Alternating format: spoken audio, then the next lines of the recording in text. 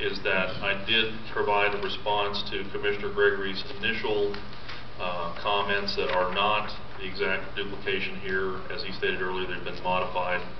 And just for the sake of time, the responses, my, my own individual responses to those are on that, and those have also been um, uh, posted on the website along with the Commissioner Gregory's initial comments from the June 12th meeting. And without objection, I'd like to be allowed to enter those into the record for this meeting as well.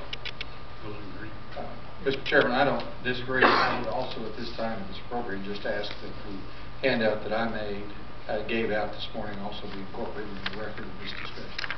Without objection, I'll so move. All right, here we go. What that means by the record, Mr. Chairman, uh, to clarify, is in the minutes. Yes. Is that correct? Yes.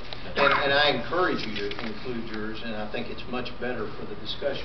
Otherwise, people reading this later won't know what we're talking about. Right. So I, I welcome your document. I think it would be appropriate to have a meeting summary as opposed to just, just transcript from this meeting, to put those pieces together. But they, in any event, that these documents, Right. these three documents be included. Right. Yeah. Okay, I have a motion and a second. Any additional discussion? Okay, record vote. Uh, Commissioner Wilson? Aye. Commissioner Gregory? Aye. Vice Chair White? Nay. Commissioner Dolgener? Nay. Commissioner Vanags? Nay. Commissioner Wark? Nay. And Chair votes nay. Uh, Mr. Chair, I'd like to note that we are 60 minutes into our 90-minute discussion period. Moving on, item four, Item number four